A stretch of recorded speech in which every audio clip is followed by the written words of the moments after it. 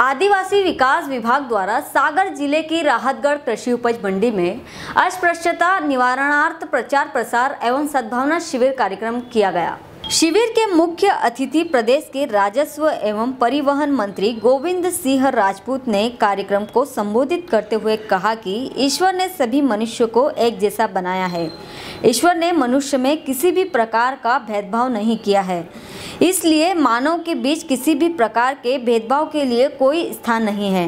उन्होंने कहा कि मिलजुल कर कार्य करने से ही प्रदेश में चौमुखी विकास होगा।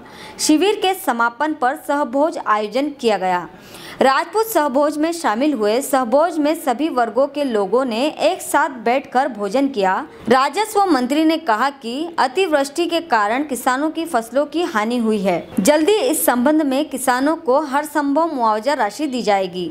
उन्होंने आदिवासी विकास विभाग द्वारा अस्पृश्यता निवारणार्थ के विषय पर आयोजित विभिन्न प्रतियोगिताओं के विजेताओं को पुरस्कार वितरण किए। उन्होंने भाषण प्रतियोगिता, निबंध और रंगोली प्रतियोगिता के विजेताओं को पुरस्कार वितरण किए।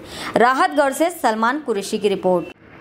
अस्पृश्यता दिवस में पधारे हमारे मंच पर विराजमान सभी कांग्रेस पार्टी के वरिष्ठ नेतागण, जिला पंचायत के सदस्य जी दाऊ हमारे मंडी के उपाध्यक्ष पूर्व जनपद अध्यक्ष, गोविंद सिंह जी, कपूर साहब, ललन भाई, राम कुमार जी, पुष्कले जी डैनी भाई, मुन्ना भाई, विनोद जी, सभी हमारे साथी, सभी भाइयों बहन। इस विभाग के द्वारा बहुत सारे कार्यक्रम और बहुत सारी योजनाएँ अभी विभाग के अधिकारियों ने बताई। उसमें ये आज का जो कार्यक्रम है कि अस्पृश्यता दिवस भी हम सब भाईचारे के साथ मनाते इसका उद्देश्य बड़ा साफ़ है कि जब ईश्वर ने ऊपर वाले ने हमें भेद नहीं किया तो हम और आप एक दूसरे में क्यों भेद करें?